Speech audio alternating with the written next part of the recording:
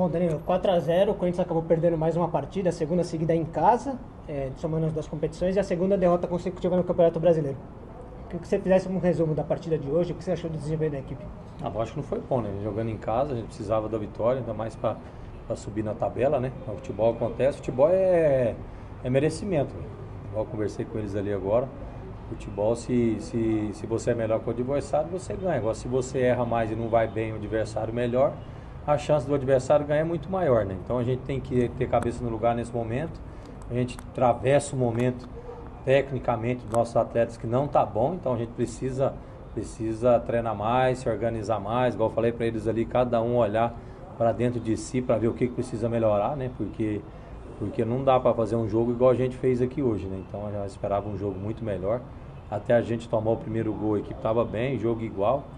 E a gente vem cometendo muitos erros, né? E a gente acaba pagando com os próprios erros que a gente está dando. Então, o futebol você dá brecha para o adversário, você acaba sofrendo. Agora, o Corinthians ele teve dificuldade de criação, principalmente no primeiro tempo, apesar do Corinthians ter feito uma boa partida no início, mas também não conseguiu levar tanto perigo ao adversário, principalmente na primeira etapa. O que você acredita dessa dificuldade de criação? É isso aí que eu acabei de falar, o momento que a gente vem passando. Acho que a gente precisa criar mais, precisa criar mais chance de gol. É, antes da partida eu já tinha comentado com eles, né? Porque é, a gente precisa aumentar mais os gols lá na frente, tomar menos atrás. Não dá para todo jogo tomar gol, né? Então a nossa equipe sempre foi assim, esse espírito nosso sempre foi assim, né? Até aqui. Mas infelizmente com essa troca muito grande de atletas também, né? tem que colocar os jogadores mais novos também. E os jogadores mais novos às vezes têm alguns erros que, que às vezes é normal pela idade, pelo momento da, que, que eles vêm passando de transição, né? Mas a gente procura sempre está conversando, explicando, que até que, que possa acertar o mais rápido possível.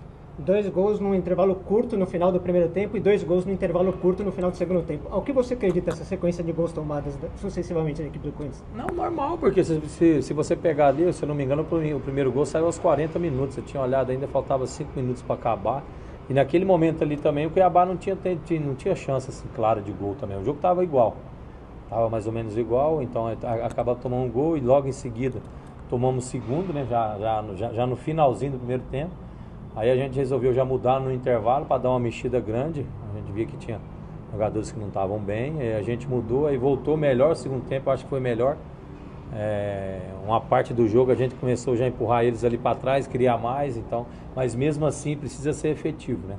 Futebol não adianta criar, criar e não fazer o gol. Então a gente está com essa dificuldade é, de botar a bola para dentro, de, de, de ser decisivo. Acho que hoje mesmo teve várias bolas que dá pra gente finalizar, a gente quer tocar, isso aí não existe, eu tô na frente do gol.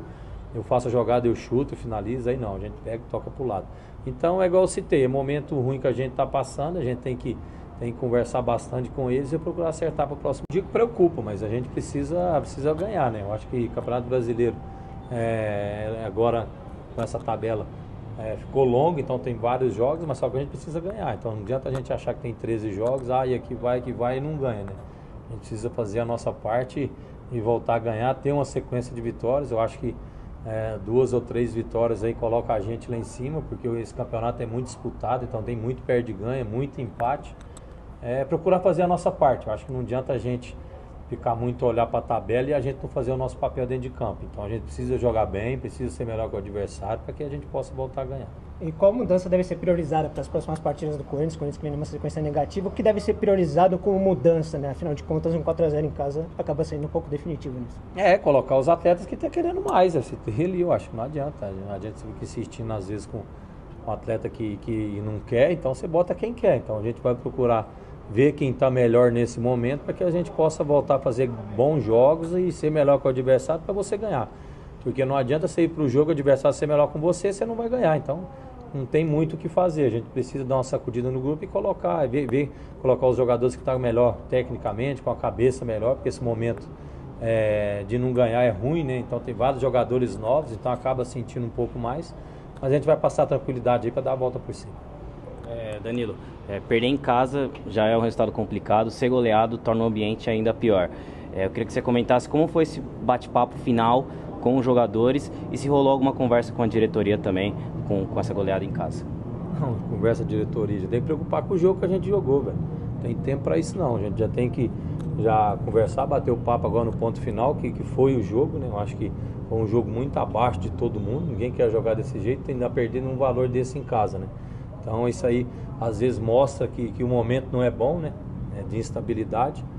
Mas é, se a gente perde ali de 2 a 0, eu acho que o segundo tempo a gente tava, deu, teve uma parte ali que a gente melhorou e acabamos tomando dois gols de erro nosso de novo, né? Então, ah, futebol é, não, não tem segredo, velho. Se você erra e dá por dado para adversário, o adversário aproveita, você acaba sofrendo. Então, eu falei para eles, a partir do momento a gente para de errar e começa a jogar bem e é melhor do que o adversário, você vai ganhar. Futebol não tem muito segredo em cima disso.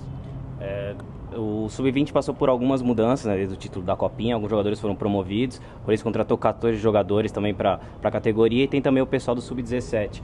Como tem sido o dia a dia com tantos jogadores, seja com os próprios reforços, que hoje acabaram, é, não, nenhum foi relacionado, tanto com os, quanto com os Sub-17, que hoje foram alguns utilizados, o Luiz Fernando, o Diego, enfim.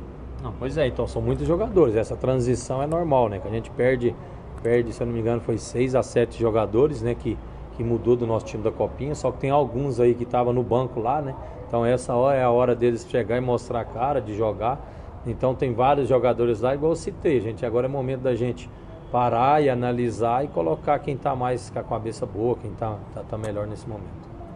Danilo, em relação ao mental dos jogadores, né? São garotos, são bem novos e vêm de 12 derrotas em casa. Eu queria saber como fica agora para trabalhar essa parte mental com eles para o jogo contra o São Bernardo lá no Baetão. Não, tem que trabalhar. Eu acho que o futebol eles já estão em fase de, de transição, né? Às vezes a gente cobra muito isso deles de, de acertar toda a bola, de, de, de não errar, entendeu? Mas infelizmente é, é a categoria é assim. Às vezes é um mais velho, outro mais novo, e eles têm que passar por esse processo, né? Esse processo é de aprendizado para eles. Infelizmente, quando a gente erra, a gente vai perdendo, né? Então é difícil. Acho que, que a gente tem que conversar bastante, dar, dar apoio nesse momento, falei para eles futebol, a derrota e a vitória é muito perto. Daqui a pouco você está ganhando quatro jogos, de repente você vai e perde cinco jogos seguidos. A gente tem várias histórias disso aí. Então é momento da gente ter a cabeça fria nesse momento para analisar e voltar a fazer as coisas certas para que a gente volte a ganhar.